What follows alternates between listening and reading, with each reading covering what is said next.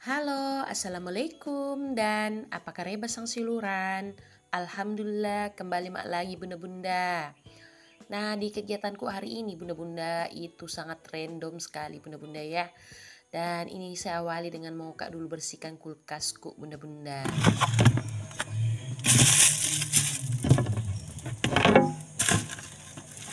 Nah bisa dilihat itu kulkasku bunda-bunda.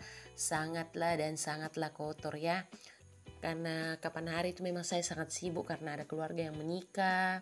Belum lagi mau itu edit edit, edit video ku benda-benda jadi ku abaikan ini kulkasku. Ini kulkasku benda-benda harus rajin bersihkan ya karena tempat penyimpanan makanan apalagi kita kalau ada anak kecil tak benda-benda jadi dia itu suka bongkar tutup kulkas bunda-bunda jadi rajin kita ambil makanan dari kulkas bunda-bunda jadi harus kita rajin bersihkan kulkas supaya makanan itu yang kita simpan di kulkas aman biar anak-anak juga tetap steril kalau dia makan ya bunda-bunda. Oke lanjut. Nah ini isi kulkasku kalau sudah umi keluarkan satu persatu dari dalam. Lanjut misalnya e, cuci-cuci itu saringannya. Cuci-cuci itu alasnya bunda-bunda karena sangat kotor sangat kotor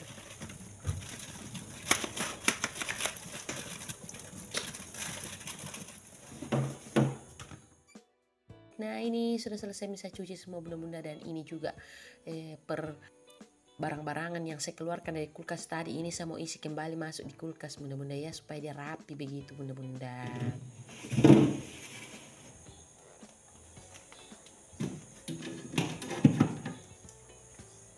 Nah alhamdulillah ini selesai semua ini kulkas bunda-bunda. Nah yang di pintunya ini saya tidak bersihkan bunda-bunda karena sudah bersih ji. Tidak ada kotorannya saya lihat bunda-bunda. Nah lanjut ini karena perutku keroncongan bunda-bunda mau kak lanjut lagi buat masak makanan siang bunda-bunda ya. Nah menu hari ini tuh simple saja cuma sayur sup saja sama tempe goreng dan sambal ya. Nah, hari ini saya mau masak menu simple lagi bunda-bunda ya. Nah ini ada sayur sup, bahan-bahannya itu ada wortel, kentang, bakso, dan kol. Nah ini semua saya sudah potong-potong. Nah ini sudah miku ulek-ulek per bumbu-bumbuan bunda-bunda. Saya lanjut menumisnya. Nah saya tumis itu di kuali sebelah bunda-bunda ya. Dan ini uh, sayur-sayurnya saya sudah rebus juga secara terpisah bunda-bunda. Nah kalau sudah wangi ini bumbu-bumbu bunda-bunda kita pindahkan di rebusan sayur tadi. Jangan lupa kita tambahkan garam, penyedap, dan e, bumbu lain-lainnya sesuai selera ya bunda-bunda. Oke lanjut. Nah alhamdulillah masak mini e, masakanku bunda-bunda. Mau kak dulu makan. Oke bunda-bunda. Panas ki bunda. Enak ki segar. Nah videonya saya lanjutkan di malam hari sekitar jam 7 malam bunda-bunda ya.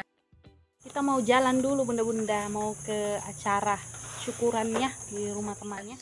Nah jam 7 lewat ini orang sudah surat isya bunda-bunda ini saya sama anak aku Danen mau kak dulu ke uh, acara syukuran rumah di salah satu rumah teman bunda-bunda. Nah jarak rumah itu lumayan jauh dari rumah bunda-bunda namanya itu Bu Dian Afif. Nah di sini alhamdulillah kita sudah sampai di rumahnya bunda-bunda dan karena ini tuh malam Jumat bunda-bunda jadi kita itu mau al kafi ya baca al kafi.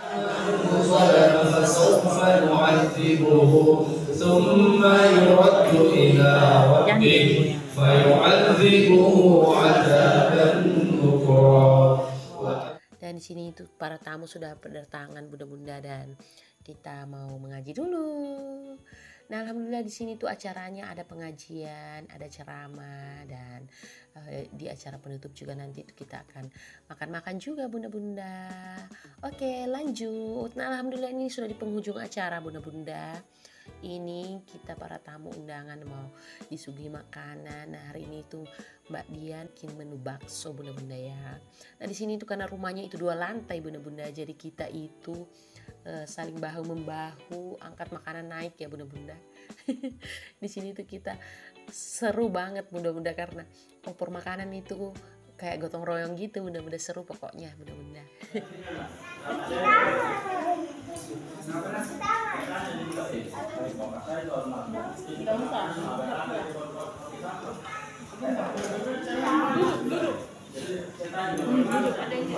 Nah alhamdulillah bunda-bunda ini udah selesai aja kita makan makannya dan sini sudah udah jam sembilanan bunda-bunda dan Kami mau pamit pulang. Terima kasih sudah mengikuti kegiatan Mama Dalen hari ini. Sampai bertemu di part berikutnya. Dadah.